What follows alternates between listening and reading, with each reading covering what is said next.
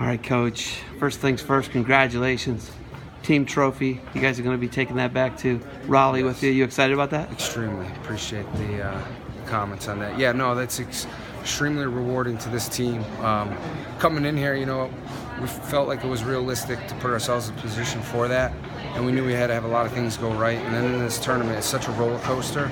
A couple guys get knocked off, a couple guys got banged up, and uh, and then you got Tariq Wilson who gets hot and scores a lot of points for us, so it put us right back in position. And a couple other guys stepped up big time tonight. How do you see it? How do you see the talent? They're out of Steubenville, Ohio. The Ohio River Valley, never a state champ in Ohio. How do you see it? You got an eye for it. How'd you see it? Um, you know, obviously there's a lot of talented kids out there, and at the end of the day, it's more what we're looking for in our philosophy and our program. Kids that are willing to do some extra things outside our room that put themselves in position to be successful right away. So yeah, the talent's one thing, but I think it's the mentality of the kid and fitting our culture, what we're looking for. It's really kind of making things work for these guys. Macchiavello is from North Carolina. He's from North Carolina, one-time state. That's why that was so. I was so happy for the kid because he came to NC State. He had a losing record his first year.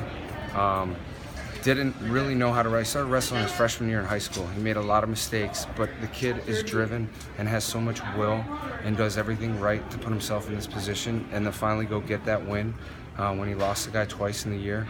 It was he did it at the right time. I mean, you probably wanted Kollin Moore based on the match with the at the duel.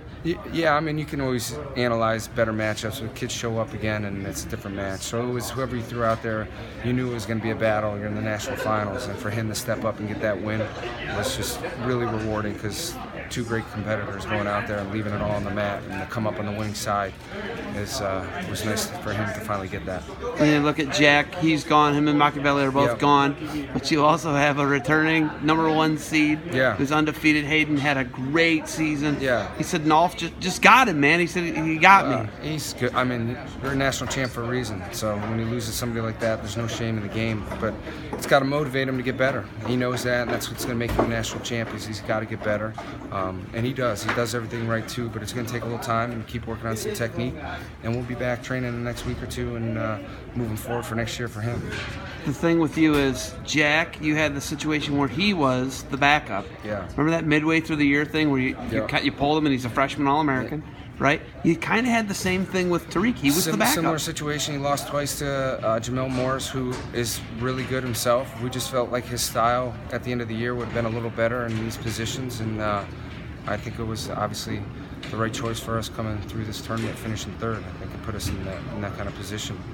How huge is your depth that you've built at NC State? It's incredible. I mean, we're talking about Tariq Wilson takes third in the NCAA. He's the backup, right? And you have the similar situation. What's it? What's it speak to the depth? Uh, I, it's the guys in the room training. They're all on the same page. So if we do have to make some moves in our lineup, we have guys that are going to be ready to step in on any given time, and uh, that's what's making our program special. Is everybody wants to win, and everybody wants to see other guys on the team win. And uh, every guy in there is, you know, they're in there for the team, not just themselves. Okay, the Italy thing. Yeah. I, I mean, in hindsight, it looks like it was a genius move for you. Now, if you're Oklahoma State, it's probably not a genius move for them. What, what did that benefit you? What did that do for you? And, and, and we, how did you we do that? changed our training up completely this year, um, from preseason to middle of the year to postseason. I did a 180 on our training because I felt like we came to this tournament last couple of years and we're.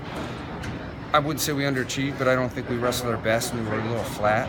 Um, and we changed it up. And you'll never have it perfect because you're going to have other guys that have better days than others. Um, but I felt like we finally had everybody wrestling close to their best and put them in the position to succeed.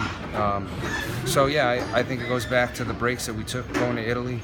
It was like a two-week break that we were we were training, but at the same time it was something different and gave these guys a little break in the middle of the season.